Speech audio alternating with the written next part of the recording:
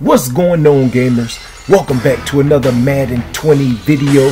Today I'm to show y'all a defense that will stop all runs.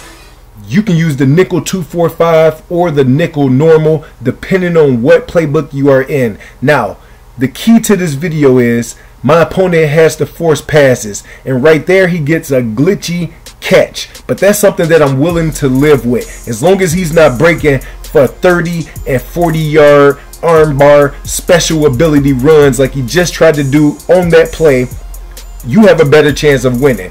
Nickel 245 or the nickel normal. You don't have to come out in the 3-4 odd or the 4-4 unless they are in more than the two tight end set. As you can see, we bust them in the mouth real quick. I'm telling him, put the ball in the air because you are not going to run on me and it's too easy adjustments to have the best run defense in Madden 20. I just updated the Patreon. I just updated all ebooks with the free tip.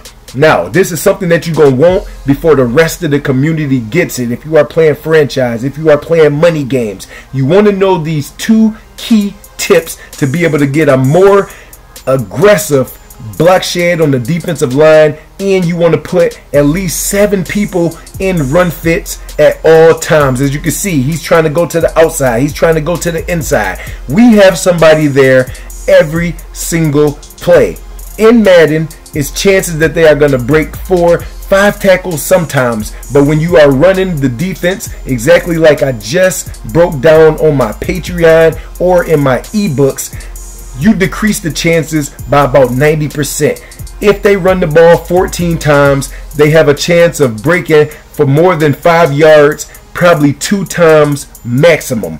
This is a guaranteed run stopping tip, and it's up to y'all to be able to shut down the run and force the pass.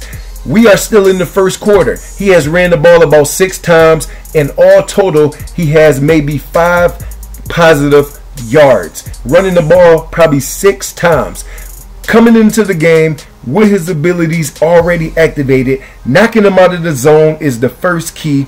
The second key is making sure you constantly let your opponent know that you will not be spamming the run over and over and over. You will have to come up with a scheme, and every time that should have been a fumble, should have had three fumbles so far in this gameplay. But once he go into a run formation, it's up to us to lock it down. Like I said, they can't get double teams on run blocking. They have to do single. Uh, with this defensive tip, they have to give you one-on-one chances, and then when they go into split close, gun trade, all them different type of offenses and pass the ball, which 90% of the community is uncomfortable with. That's when you are going to force turnovers and force rage quit.